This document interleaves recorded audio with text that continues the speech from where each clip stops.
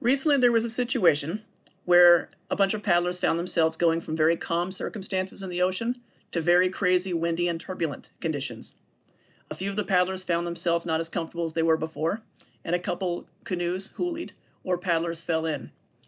In situations like this, it is important to remain calm, and that's exactly what happened in this video footage, where the paddler who fell in was assisted by another paddler who did a couple things to really help the situation go from perhaps scary and dangerous to very in controlled and safe. I wanted to walk through some of the things that happened here as the conditions deteriorated because you'll notice that everyone came out all right with a lot of help from those around them. So I'm going to walk through a bunch of things that happened in a very short amount of time that are really great best practices to keep in mind if you're ever in a group and conditions deteriorate quickly.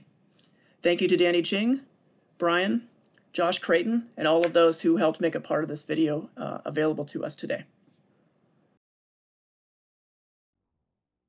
Paddler sees somebody in need. Other paddlers double back to make sure everyone's okay. Coming alongside on the AMA, giving a verbal cue to the person that they're here, ready to help if needed.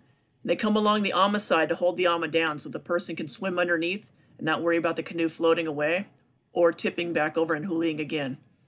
Creating a stable platform, the paddler can get back in, grab their paddle, and be in a position of success again. You'll note that there's paddlers in the background who are also surveying to make sure the situation is held okay, while other paddlers who may be needing help can be offered assistance once needed. One more important thing to note is we want to make sure our effort to assist does not create more danger.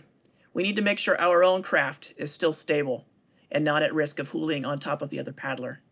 Always want to make sure our AMA is stable and their AMA is stable is key and that we're not banging into each other and creating any more disruptions to a crazy situation. Remember, you can't help somebody else if you're not already safe and in a good position to be helping. Here's the video in real time. You can hear the wind gusting and the dialogue calmly taking place between the two paddlers as they go from a scary situation into a fixed and calm one.